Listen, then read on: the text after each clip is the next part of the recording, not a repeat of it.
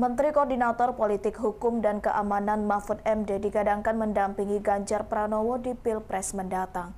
Dari informasi yang dihimpun, nama Mahfud MD disebut-sebut paling pantas mendampingi Ganjar.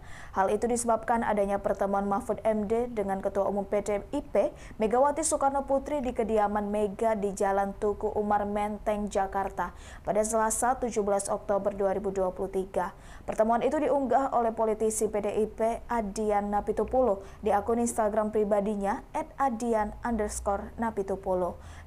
Di mana dalam caption tersebut Adian menyebut bahwa Megawati Soekarno Putri telah bertemu dengan Mahfud MD. Malam ini Ketum PDIP Ibu Megawati bertemu Ed Moh Mahfud MD di Tuku Umar tulis Adian. Pertemuan tersebut apakah sinyal bahwa inisial M yang sebelumnya disebut merupakan sosok Mahfud MD?